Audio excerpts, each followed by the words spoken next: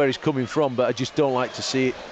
You know, the waving of the arms too much. Well, I wonder what he'll say today, having uh, seen Bannan sent off. Nuhiu through to Matias. Finish. Edge of the box, chance, goal! Sheffield Wednesday now lead by three goals to nil. There you go. That seals it. Three big points in the bag for Sheffield Wednesday, and the substitute has sealed the deal at the City Ground. Nottingham Forest nil, Sheffield Wednesday three. What a day for the Owls!